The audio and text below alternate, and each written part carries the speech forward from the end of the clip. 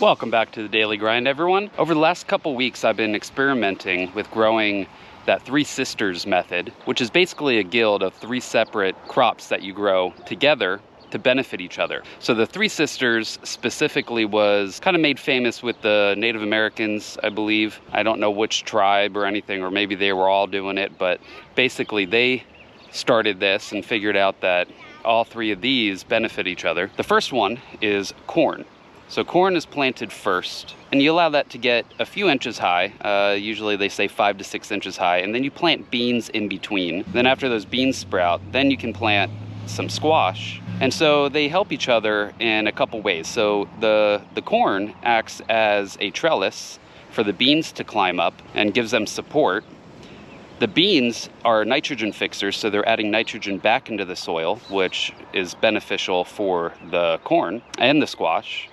And then the squash acts as a ground cover, a living ground cover, almost like a mulch, and weaves its way through, covering the, the ground, keeping weeds suppressed, and also helping to keep the soil a little bit cooler in the hot summer. That's what I've been doing here.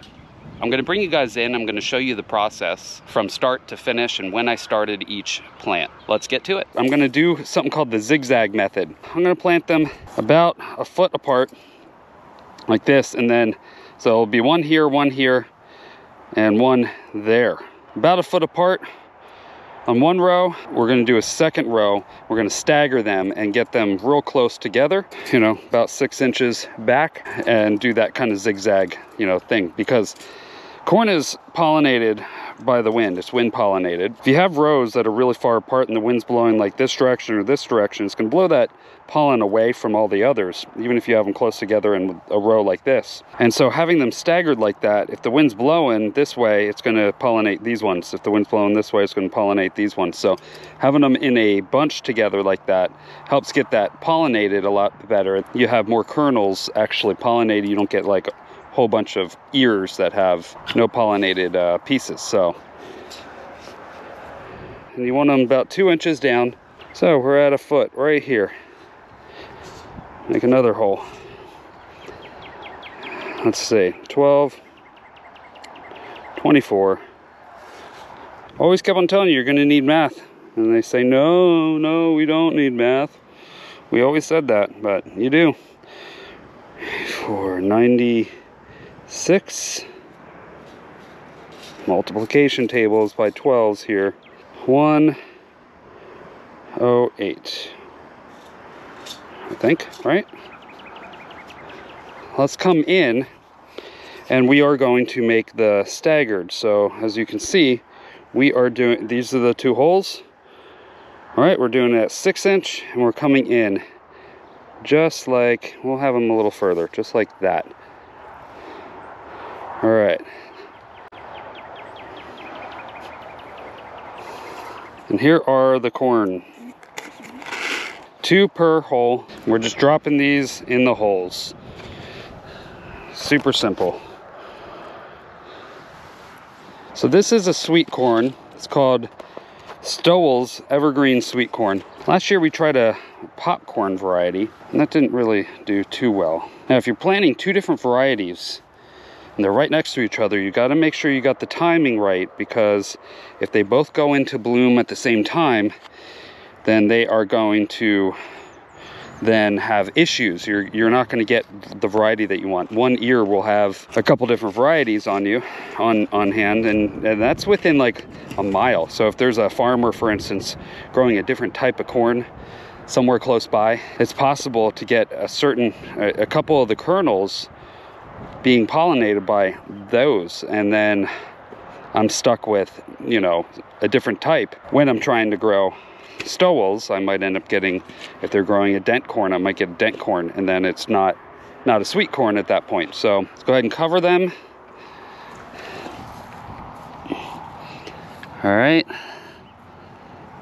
Put a little pressure. Of course, we don't want to step here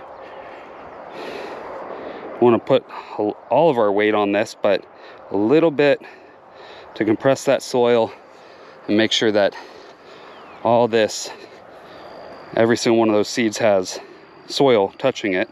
That way there's no air pockets or something that they're sitting in not get germinated. So here we go. Oh, windy today. So we're gonna really heavily water this, make sure it soaks deep. And then I wanna keep this watered every other day or so. It depends on how hot it is. Might have to be every day if it's super hot. So it's been about two or three days since I planted the corn seeds. They're not gonna sprout up yet. It takes seven to 10 days. But I'm gonna pr start preparing the front part of this bed for adding the squash. What I am doing is I'm adding coffee grounds. So I get this free from Starbucks. It's grounds for your garden. And I'm just gonna pour. We're not adding a ton, but you know, a fair amount. So this does a couple things. One, it's organic matter. But two, it will acidify the soil slightly, and it's also gonna cause ants to not like this area. I've still got more which I'm gonna save for some of these beds.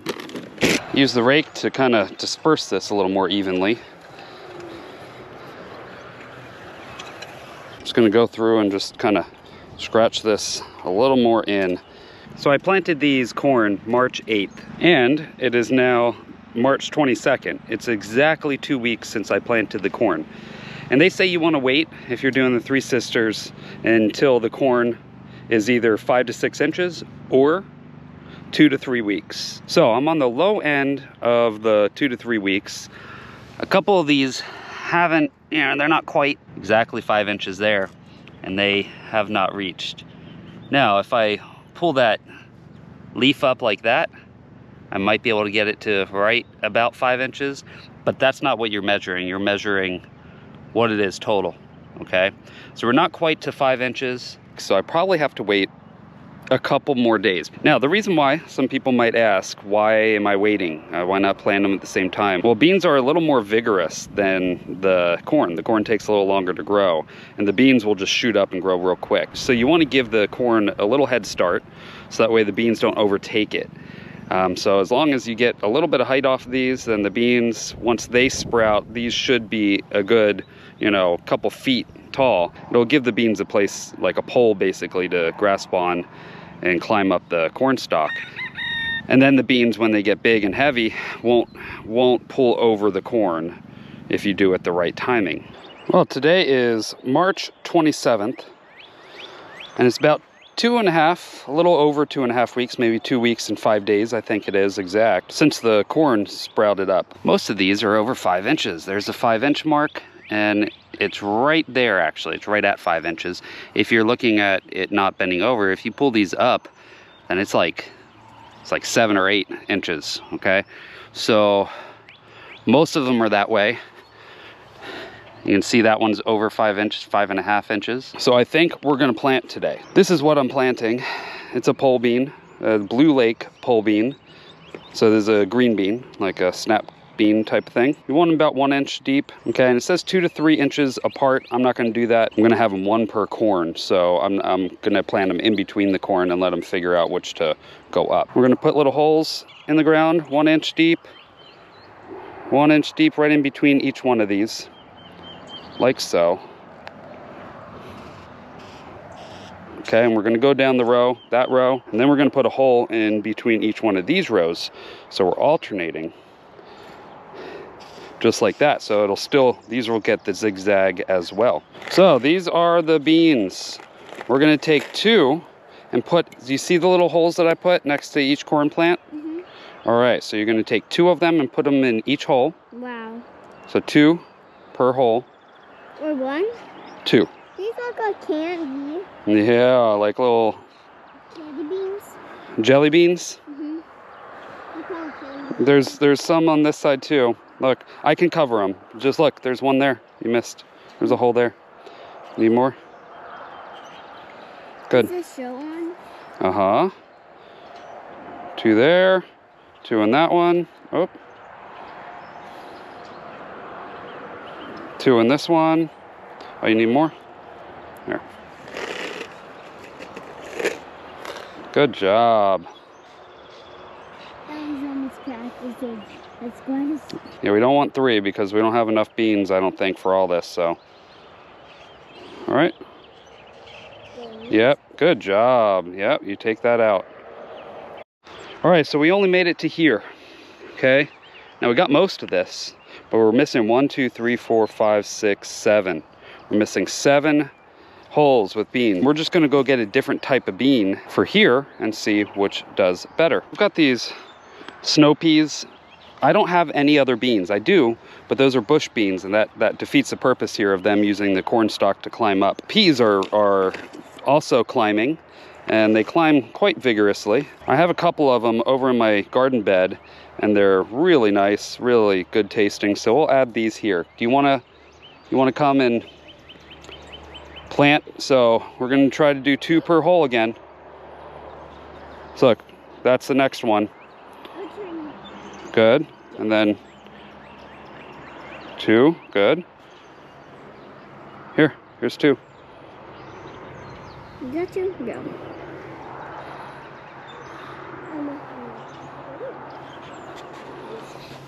I want to get those shelves out of this garden. Mm-hmm. The shell can be in there. It's not going to hurt anything. there might be a bin in it. There might be a, you know, Mm. nail in it. Is there? All right, let's make one more hole. So we can get one more. We'll just use up these seeds. We'll put it right there. Watch out.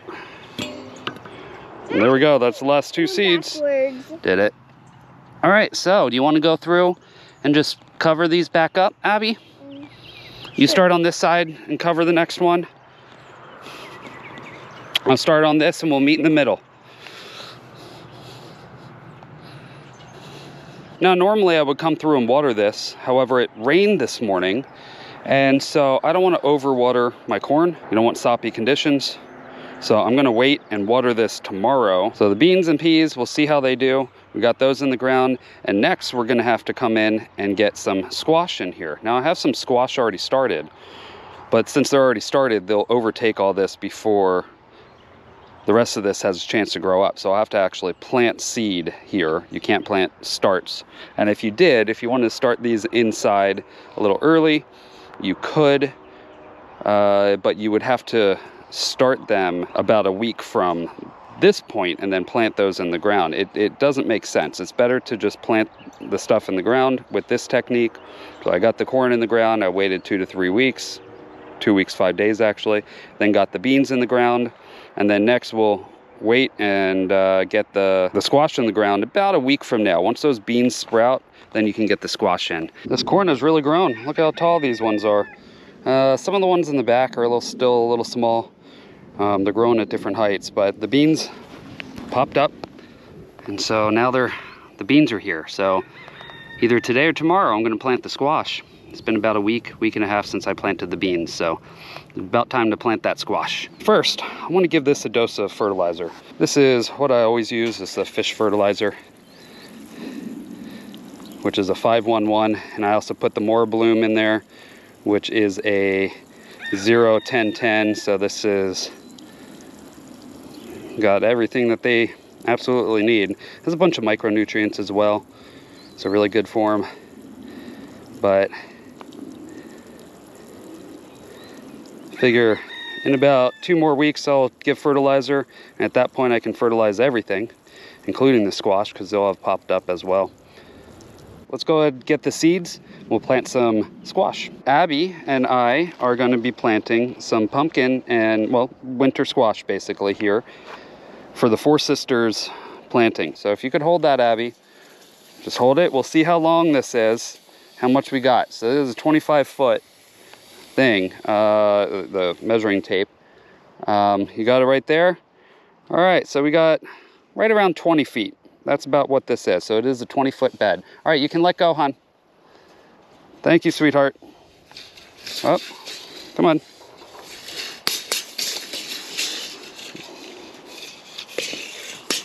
We're gonna start with the Cushaw pumpkin. So let's see, had 81% germination rate in 2022. So it's not great, but so we'll get three in there just to ensure that we get something. So we want to plant these. There's the point. This is more rounded. You put the point down and we want about four inches So I'll get, you can do two at a time here, but right there at the edge. There we go. And then we're gonna go six feet, because I think that's what it calls for, five. There's five foot. We'll probably go five foot because this says five to six foot. So that'll work. We'll do five foot.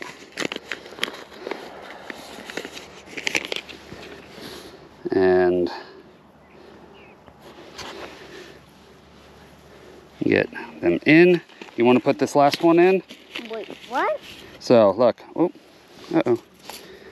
So take this and you take it like this, that point down, and you just push it in with your fingers. And right there, see where that hole is? The pointy part? Yeah, the pointy part down and push it in. Good, good. Good job. Mm. All right. So now, well, we're gonna oh. go from that spot. We're gonna do another five foot and we're gonna get something else in here. All right, so let's do the Cinderella pumpkin because the kids will like that. You wanna plant these? I got prizes. Yep. This one is five to six feet as well. As well. So, and what is the germination rate? 91% at the end of 2022. We don't get a whole lot of these seeds, so, um, but we're only doing one of these, so there we go. Well, let's make sure we get germination. We'll get three seeds in there. I'm gonna do two, okay, and then you can do the last one, okay? So we'll just take it, stick it in like that, get it down. There we go. Do you want to do the last one? Yeah. Put your finger in like that and then just shove it into the ground. Pointing side down. Not with this. Yep. A little further. There we go. All right. Five foot. Let's see what else we got. So let's get a watermelon in here. What do you think? Yeah. So this is a crimson sweet watermelon is the name. And Sweet. four to six four to six foot apart. And that'll work. Let's get You know. You probably know. All right, hon. So we've got, we're gonna plant quite a few since we're only putting one of these. We got a lot of these seeds. Do you wanna do this one or no? All right, let me get a couple in and then you can get a couple in. I put that in pocket. You wanna put a couple in? Okay, well, let me just hold it. Take these two. And okay, these are two. How about Yep. plant these are for? there we go, right mm-hmm. there. Yeah, I think you and me did together. We planted some seeds. I did it. You did it? Got both of them? So now we have really only, we can do, it's four foot. So let's see, what is the smallest one that we can get in there? Sweet dumpling winter squash, because this one requires six feet apart. That's not gonna work. This one is 36 to 60 inches apart. It's plenty. All right, so that'll work. Gonna get quite a few of these seeds. We're gonna plant too many and then we can thin it out. I just wanna make sure we get them. Apparently you can plant pretty much any squash, uh, even watermelon works, um, any kind of vining squash. Pointy seeds. Mm-hmm. I knew more pointy seeds. Are them really? Oh. Yep. All right. There we go. So they're in. Now we got to water. Make sure those seeds start their germination process here. I'm just scooping into that. Yeah. I can't. Gotta. Someday Watch I out. to plant a sunflower by myself. Yeah. Mhm.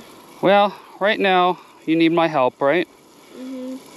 But the more you learn, Oh, then you're gonna be able to do it yourself soon. Yeah, you there's the sun and the water's right. Yeah. So today is April 4th. So we can keep track of how long it takes for these to pop up. So you can see the timing between planting the corn and then the beans and then the squash. Now, I probably could have planted the squash yesterday because those beans popped up. Uh, in all honesty, I probably should have waited on the beans another couple days with the corn. They were still a little small and they still are small. Kind of worries me. Um, I'm afraid that they won't get tall enough and big enough and robust enough to not get knocked over by those beans going up them, but we'll see how this works. But you guys can see the timing I'm using here and, you know, adjust accordingly to your needs. Well, look how big these corn have gotten. They are growing really well. They're probably a foot and a half tall already. But it's really funny. This side is all really tall. And then you can see it just kind of dips down right here. So these are all tall. And then boom, this dips down. It's all the same variety of corn, so there's no difference there. I just don't, I don't know what's going on over here. Now it could be that this was getting too much sun and dried it out. That's possible because here I was growing some wheat, which I've recently harvested, but I haven't harvested the oats here because they're not ready. But the wheat and the barley, I harvested all this. By the way, I've got a video coming up soon on how I did that. So stay tuned for that one, guys. But I have a feeling that maybe when the sun was coming in, because the sun comes up over like this in the mornings, this would dry out a little faster than here. So maybe this stayed moist a little longer. I'm not sure, but you would think that the extra sun would help grow these faster. So I really can't figure this out. If you guys know, if you guys can figure this out, have some suggestions, please let me know. Because I mean, this is all the same soil and I tilled all this the same way. But anyway, so the corn's grown really well. We don't quite have tassels yet, of course. Uh, they're not they're not that big, but they've been growing really well. I've been adding a whole lot of nitrogen fertilizer in the form of fish plant food to this. So the emulsified fish is working really well to kind of grow these because I, you know, they're heavy feeders, so they need a lot of nitrogen-rich fertilizers. Um, they need everything really, uh, especially nitrogen to be able to grow. They are a grass after all. And then the beans are doing really well. We're starting to see these starting to run a little bit. We've got some runners starting. So pretty soon those beans will grow up really well. And then it took a while, guys, but these sprouted first. These are the squash. So I've got a couple different squashes in here. You guys saw earlier what they were. But the squashes, this this squash came up first. I haven't thinned it out fully yet. I did thin out a couple of them, but I wanted to make sure in case a bug came in and ate one that I've at least got one in this spot. So I'm gonna leave them for a little bit longer until they get strong enough where I know that they should be good. So I've got one there. And then finally, I actually had to plant new seed here because they never came up. But here's the watermelon, finally came up. So these are a little bit behind the rest. Nowhere else did the watermelon come up. By the way, I gotta come through and weed some of this. Okay, but the watermelon finally popped up. This is the pumpkin. And this is probably growing the best right now. I mean, it's getting big. Um, it's actually got the third set of leaves, even though this was not the first to pop up. Those down there were, but those only have second set of leaves. So this is doing really well. And then down here is a cushaw. Um, I, I, believe that's how you pronounce it. But this is doing really well also. Uh, this cushaw is uh, growing quite well here. Now I planted another cushaw here uh, set of seeds and those never sprouted right around this area. And then I came through the same time I planted the new set of seeds for the watermelon that had uh, finally popped up. But this cushaw didn't. I don't know what's going on. They're they're kind of slow. So we'll see what happens here if we ever get one of these to pop up. We might have a big hole in our squash row here. But that's okay. I mean, squash get really big and this is a pumpkin, so that's gonna vine out real far and same with that. So if we never get these to pop up, I think we'll be all right. We'll still have good coverage and mulch, living mulch here. Um, I will come through and weed some of these areas uh, before this squash really starts taking over. And then once they do, uh, it should suppress the weeds quite well. I did also add some mulch, hardwood bark mulch around the corn in hopes to keep the moisture in because we were getting really hot days. Now today is kind of cool, it's cloudy and it's about 78 degrees right now, but we were hitting 90, 95 degrees already. And this is not even summer yet, this is spring. And it was drying out really quick. And I was having to come and water every day and I didn't want to do that. So I added some mulch to be able to kind of keep that moisture in a little bit before the squash kind of takes off and covers everything. And then the peas, if you guys remember, I didn't have enough of the beans here. Peas are growing actually really fast here. You can see how big they're getting. And so we'll see. Hopefully, I mean, I probably should have put the peas on that side because these might take over the corn and outgrow them. So we'll see what happens right over here. We'll have to keep an eye on that. I probably should have waited for the peas because those really do grow very fast. Once they establish, they just take off. So I always like to show the date here. It is Thursday, April 25th. And these squash have been up for a couple weeks actually, um, the ones that popped up originally. These, when I reseeded, they popped up about four days ago. So this does take a while to get everything established. And luckily here we have a really long growing season. I mean, we've got until probably November till we get a frost. But if you live in a climate where your summers, your, your frosts are late, and then also start early and you don't have enough time, this might not be the method for you. But if you can start this early, like right in the beginning, start the corn right in the beginning of your growing season, right as the soil temperatures reach the temperature that they have to be to be able to plant the corn, you want to start this early. That's that's your best bet here, is to be able to get this going early because it does take a while. You got to wait two to three weeks, and for me, it was three weeks before that corn got tall enough before I could put the beans in. And then I had to wait for the beans to sprout before I could put in the squash. So we're talking maybe a month, month and a half from when you plant the corn till you can till when you can plant the squash. Just keep that in mind, guys, if you're gonna do this. I will keep you guys updated and show you kind of what's going on in the next couple weeks to months. And of course, I'll bring you guys back when I harvest everything. Of course, I'll be giving you updates periodically as these grow. I'm pretty excited about this to see really kind of the benefit, see if I do gain more yield from the corn and all this kind of works together to kind of help benefit each other. Because I see mixed uh, feelings about this online where some people say, don't do it, okay? It's, it doesn't help and it becomes more complicated than it needs to be. And then other people say it's wonderful, and it really does, they do help each other. So I'm interested to see how it's gonna work for me, and you guys can come along and see, you know, if it's working for me, it might work for you. So keep watching the next couple months, guys. As I said, I'm gonna come out with videos uh, periodically and show you updates on these. So if you guys like this kind of content, please subscribe and hit that bell notification for future video updates. Also, if you guys could hit the like button, it would really help me and the channel out. I will see you guys on the next video. Now you escape the daily grind.